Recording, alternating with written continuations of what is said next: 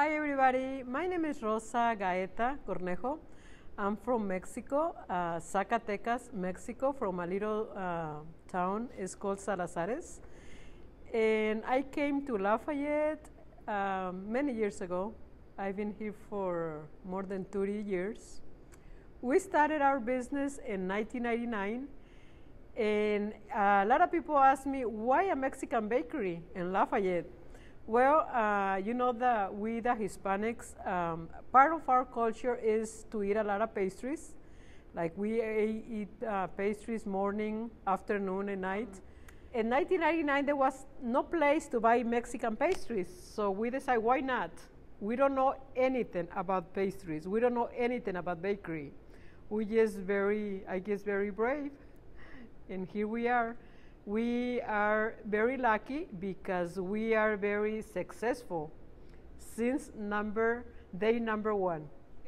I guess what makes our uh, business successful is uh, that we have um, very good quality, fresh, no preservatives, no, uh, we don't use any pre-mixed anything. It's just uh, everything is fresh, and we make everything every day. Of course. Um, uh, I think the bakery is very beautiful. People likes to come and see uh, the bakery and the product, of course.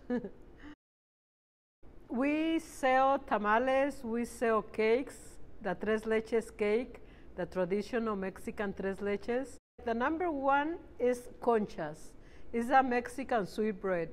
Those you can find them even in the smallest bakery in Mexico in the little stores on the corners, you can find the conchas. That's everywhere in Mexico. Everybody knows the conchas.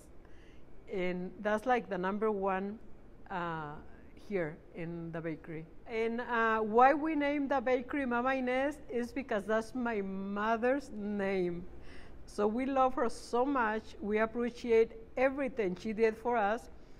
That is an honor to have uh, her name in my bakery. Um, this month is very important for us and it makes us very sentimental also because we remember back in Mexico, we remember our culture and um, we are very happy to be able to celebrate because there's a lot of Hispanics, a lot of Mexican people here and it makes us very happy to be able to um, celebrate. Uh, my favorite thing about Lafayette is the diversity of uh, cultures. Uh, we can see people from everywhere. We have customers from everywhere in the world. And we have people that comes from um, other states also because our bakery is um, very good famous, I guess. they asked me what are the hardest obstacles that I have to go through in this country as an immigrant. And one of the things is being a woman in the United States is, um, and also being a minority, is been very, very hard for me because uh, there is a lot of obstacles that you have to jump and but you can do it. We can get you can get there and i did it so everybody can do it